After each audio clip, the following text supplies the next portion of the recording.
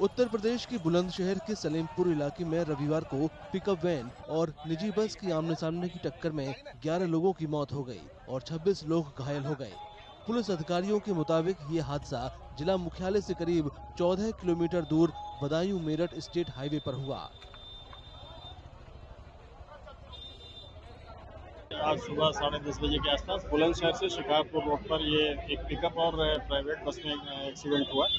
इसमें तत्काल police force मौके पर पहुँच गया था और बचाव और राहत की कार्रवाई प्रारंभ कर दी गई थी और सभी को जिला अस्पताल पहुँचाया गया था, जिसमें से 10 लोगों की मृत्यु हो चुकी है और 29 लोग घायल हैं। तो उसमें से सात लोगों को अभी मेरठ रेफर कर दिया गया है। बाकी लोग यहाँ इलाजरत हैं और सभी उच्च अधिकारी और मेडिकल की पूरी टीम यहाँ मौजूद है और चिकित्सा कार्य जारी है।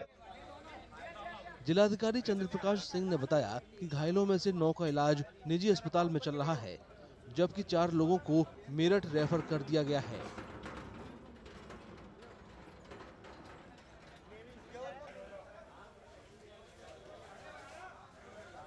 माननीय मुख्यमंत्री जी ने तत्काली घटना का संज्ञान लिया था। हमको एसएसपी साहब को, पूरा मेडिकल टीम को अच्छे से अच्छे इलाज कराने के लिए जो भी बेहतर से बेहतर व्यवस्था हो ताकि जितने भी हमारे घायल हैं उनका समुचित इलाज हो सके, ऐसा उन्होंने तत्काल निर्देश दिया था।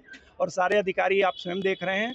चाहे वो मेडिकल डिपार्टमेंट के हों एसएसपी साहब हों, मैं हूँ, तत्काल हम लोग यहाँ हॉस्पिटल आए और आप देख रहे हैं जो बेहतर से बेहतर इलाज हो सकता है, वो किया जा रहा है। जो दोषी है, उसके खिलाफ सरकार की नीतियों के तहत सख्त से सख्त कार्रवाई करेंगे। हमारी सरकार संवेदनशील है, माननीय मुख्यमंत्री जी संवेदनशील हैं। इस घटना का पूरा विस्तृत ब्यौरा मैंने जिलाधिकारी और वरिष्ठ पुलिस अधीक्षक और अपने मुख्य चिकित्सा अधिकारी से मंगाया है। मैं कल उनको ये पूरा ब्यौरा उपलब्ध करा दूँगा। और शासन के नियमानुसार नियम संगत जितनी भी मदद और सहायता हम लोग कर सकते हैं, वो सभी सहायता हम लोग करेंगे। कार्यों के मुताबिक दोनों वाहनों में कुल सैंतीस यात्री सवार थे।